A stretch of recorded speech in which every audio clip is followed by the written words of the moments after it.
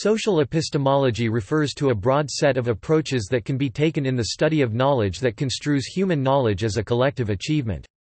Another way of characterizing social epistemology is as the evaluation of the social dimensions of knowledge or information. It is sometimes simplified to mean a social justification of belief. One of the enduring difficulties with defining social epistemology that arises is the attempt to determine what the word knowledge means in this context. There is also a challenge in arriving at a definition of social, which satisfies academics from different disciplines. Social epistemologists may exist working in many of the disciplines of the humanities and social sciences, most commonly in philosophy and sociology. In addition to marking a distinct movement in traditional and analytic epistemology, social epistemology is associated with the interdisciplinary field of science and technology studies STS. History The consideration of social dimensions of knowledge in relation to philosophy started in 380 BCE with Plato's dialogue, Charmides. In it he questions the degree of certainty an unprofessional in a field can have towards a person's claim to be a specialist in that same field. As the exploration of a dependence on authoritative figures constitutes a part of the study of social epistemology, it confirms the existence of the ideology in minds long before it was given its label. In 1936, Karl Mannheim turned Karl Marx's theory of ideology which interpreted the «social» aspect in epistemology to be of a political or sociological nature into an analysis of how the human society develops and functions. It was not until the 1970s that there was a powerful growth of interest amongst philosophers in topics such as epistemic value of testimony, the nature and function of expertise, proper distribution of cognitive labor and resources among individuals in the communities and the status of group reasoning and knowledge. The rise of social epistemology The term, social epistemology was firstly used by the library scientists Margaret Egan and Jesse Shera in the 1950s. Stephen Shapin also used it in 1979. However, it was not until the late 1980s that its current sense began to emerge. In 1987, the philosophical journal Synthèse published a special issue on social epistemology which included two authors that have since taken the branch of epistemology in two divergent directions, Alvin Goldman and Steve Fuller. Fuller founded a journal called Social Epistemology, a journal of knowledge, culture, and policy in 1987 and published his first book, Social Epistemology, in 1988. Goldman's Knowledge in a Social World came out in 1999. Goldman advocates for a type of epistemology which is sometimes called veritistic epistemology because of its large emphasis on truth. This type of epistemology is sometimes seen to side with essentialism as opposed to multiculturalism. But Goldman has argued that this association between veritistic epistemology and essentialism is not necessary. He describes social epistemology as knowledge derived from one's interactions with another person, group or society. Goldman looks into one of the two strategies of the socialization of epistemology.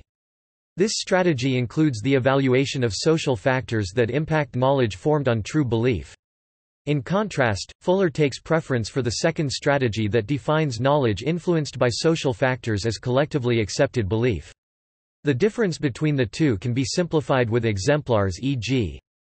The first strategy means analyzing how your degree of wealth a social factor influences what information you determine to be valid whilst the second strategy occurs when an evaluation is done on wealth's influence upon your knowledge acquired from the beliefs of the society in which you find yourself. In 2012, on the occasion of the 25th anniversary of social epistemology, Fuller reflected upon the history and the prospects of the field, including the need for social epistemology to reconnect with the larger issues of knowledge production first identified by Charles Sanders Peirce as cognitive economy and nowadays often pursued by library and information science. As for the analytic social epistemology, to which Goldman has been a significant contributor, Fuller concludes that it has failed to make significant progress owing, in part, to a minimal understanding of actual knowledge practices, a minimized role for philosophers in ongoing inquiry, and a focus on maintaining the status quo of epistemology as a field. The basic view of knowledge that motivated the emergence of social epistemology as it is perceived today can be traced to the work of Thomas Kuhn and Michel Foucault, which gained acknowledgement at the end of the 1960s. Both brought historical concerns directly to bear on problems long associated with the philosophy of science. Perhaps the most notable issue here was the nature of truth, which both Kuhn and Foucault described as a relative and contingent notion. On this background, ongoing work in the sociology of scientific knowledge (SSK) and the history and philosophy of science (HPS) was able to assert its epistemological consequences, leading most notably to the establishment of the Strong program at the University of Edinburgh. In terms of the two strands of social epistemology, Fuller is more sensitive and receptive to this historical trajectory if not always in agreement than Goldman, whose veritistic Social epistemology can be reasonably read as a systematic rejection of the more extreme claims associated with Kuhn and Foucault. Social epistemology as a field within analytic philosophy As a field within analytic philosophy, social epistemology foregrounds the social aspects of knowledge creation and dissemination. What precisely these social aspects are, and whether they have beneficial or detrimental effects upon the possibilities to create, acquire and spread knowledge is a subject of continuous debate. Within the field, the social is approached in two complementary and not mutually exclusive ways. The social character of knowledge can either be approached through inquiries in inter-individual epistemic relations or through inquiries focusing on epistemic communities. The inter-individual approach typically focuses on issues such as testimony, epistemic trust as a form of trust placed by one individual in another, epistemic dependence, epistemic authority, etc. The community approach typically focuses on issues such as community standards of justification, community procedures of critique, diversity, epistemic justice, and collective knowledge. Social epistemology as a field within analytic philosophy has close ties to, and often overlaps with feminist epistemology and philosophy of science.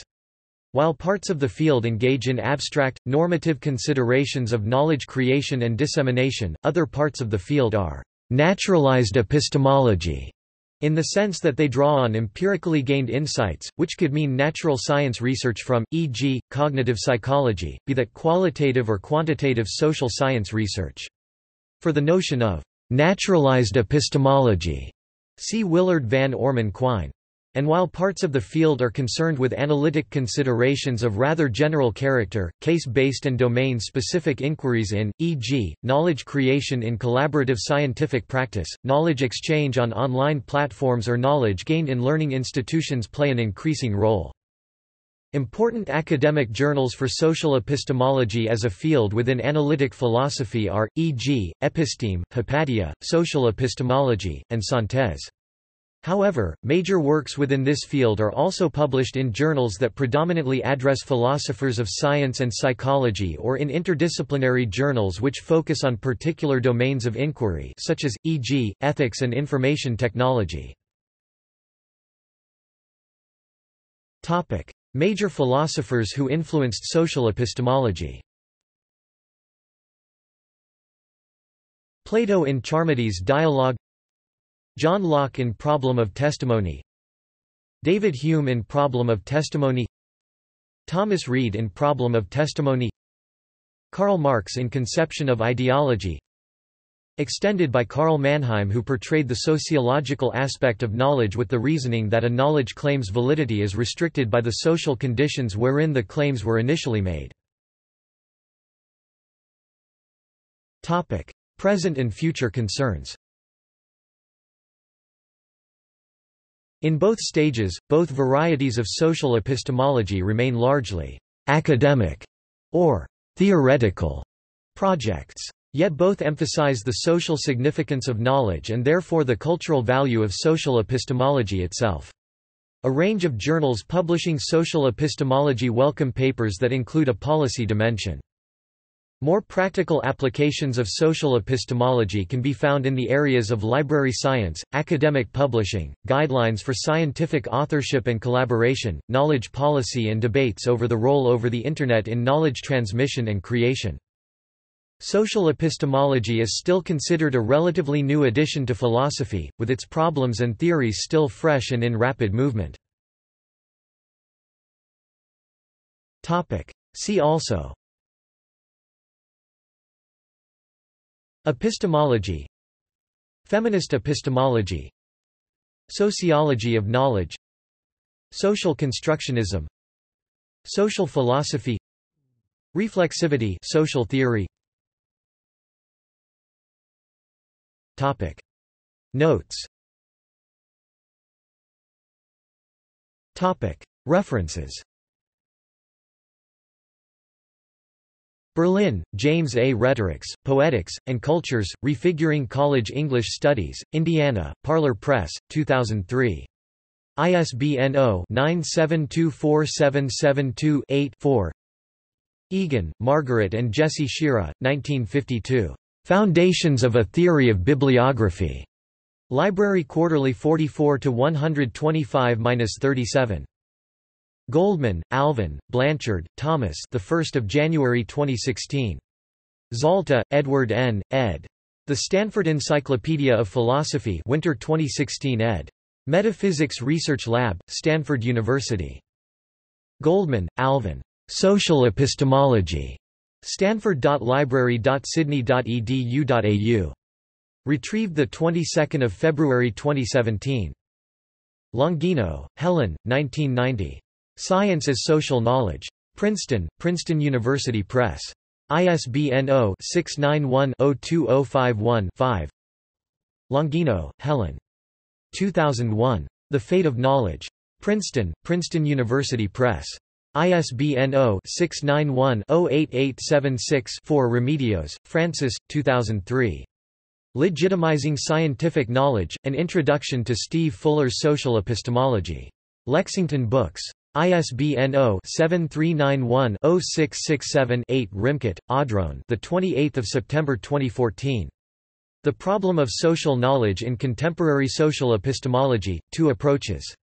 Problemos in Lithuanian. 0 65, 4–19 doi 10.15388 problemos.2004.65.6645 ISSN 1392-1126 Schmitt, Frederick F. 1994.